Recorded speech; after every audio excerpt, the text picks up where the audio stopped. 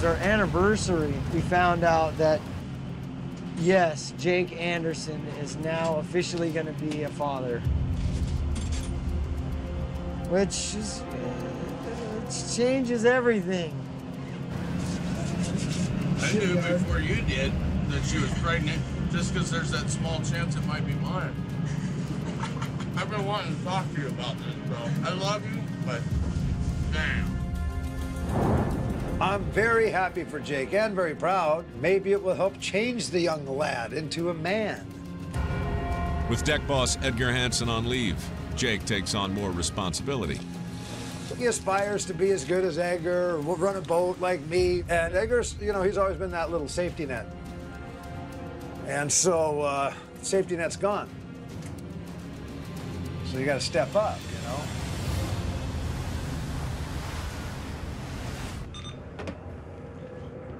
You guys ready? Okay, we're gonna go.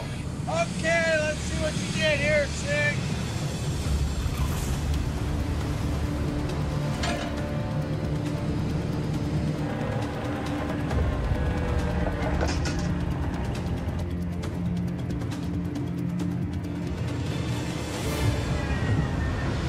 Oh, that's it.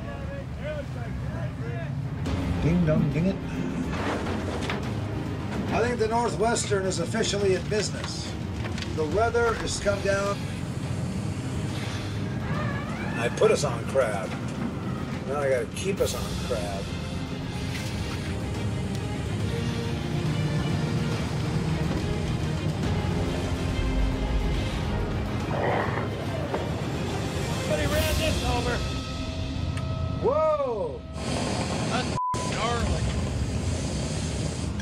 Why don't you, uh, God, let me pull forward. Somebody ran over our pot, spun it up. I don't think I've seen this this bad before. Another boat has run over the Northwestern's pot, tangling the line so it can't fit through the block. This one was run over, caught up in his prop on one blade, and it started spinning, and then they drug it, and so it's pretty bad. It was, uh, I haven't seen one spun like that in a while. You can tie the chain in the crane and lift it up, Jake. Put an overhand in it, Matt.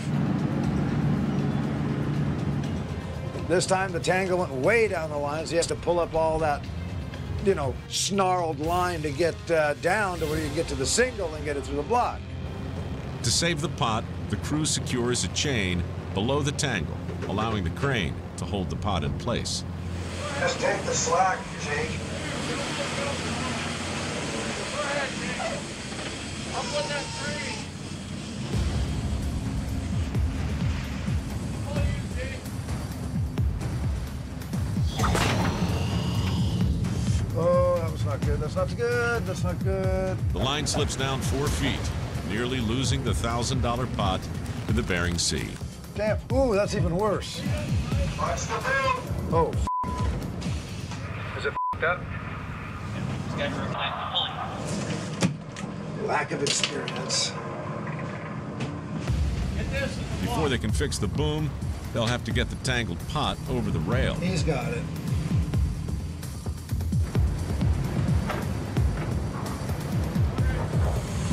Good job, man. Winch down.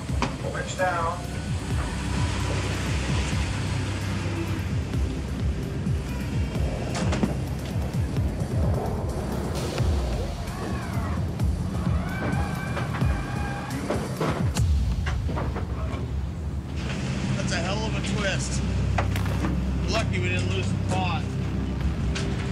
Saved the pot, broke the block.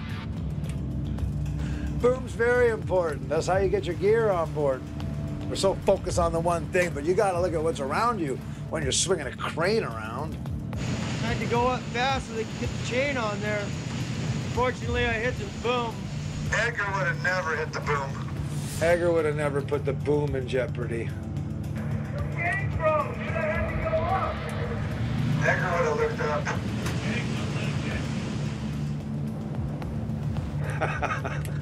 There's only two rules for running the crane and the hydraulics. Don't kill anybody and don't break anything. So I broke rule number two. sometimes Jake's ridiculous on himself. And he says, ah, I want to be the best, want to be the best. Everybody makes mistakes. Who cares? I gotta replace it. Without a working boom, the Northwestern can't fish.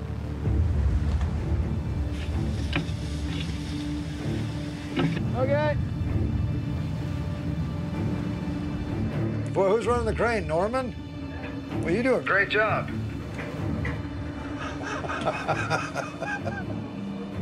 Just take your time. Remember, you're no anchor. anchor would be done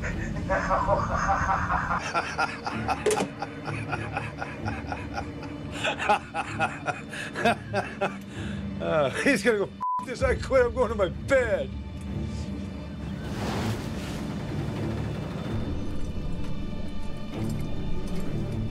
My job is to try to keep the boat from rolling while I have a human being 50 feet in the air. It's like a balancing act. Weather's been coming down here, luckily, so we can just keep it up against and try to keep the boat from rolling around so much. He's up there quite a ways.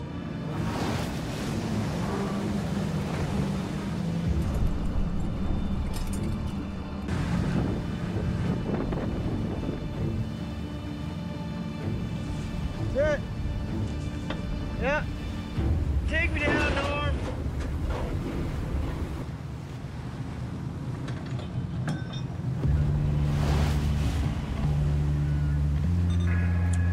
All right, we're back at it. Boom's all good. Get these pots up. Jake Anderson, the worst deckhand ever. Oh my God, stop it. It's funny. I mean, he, he's really self-conscious, you know. He does a great job. He should give himself more credit. He'll make a good captain when he gets a thicker skin.